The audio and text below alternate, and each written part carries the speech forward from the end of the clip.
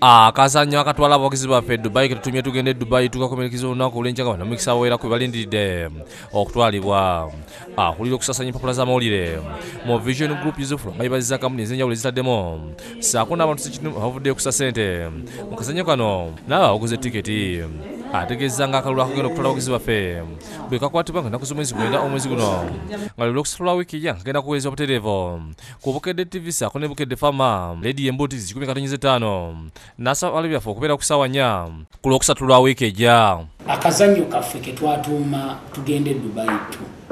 Akamaze kati wiiki munaana kakomekerezebwa nkya nga nnya olw'omwenda 215 olwokutaano era gwali eyo yina omukisa okukeetabamu omukisa ogusembayo ogw'enkya keera bukeezi ogula olupapula olwabukedde ku muko ogwokubiri juzaamu akakonge bakubuuza erinnya gyobeera n'ennamba y'essimu.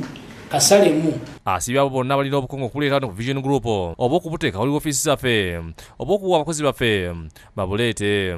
Kawe abatunda amawulire yonna gy'oli oba abali kumpi ne ofiisi za vision group ezifulumizibwa ne bukedde katwaliyo kubanga oluvannyuma lw'enkya obukonge tebujja kufuluma mu mawulire. Bo abakozi ba bukedde olweggulo olwaleero nga begattiddwako abayimbi okuli king michael betina namukasa n'abalala babadde ku ngulo z'omu kampala nga batunda kupi za bukedde.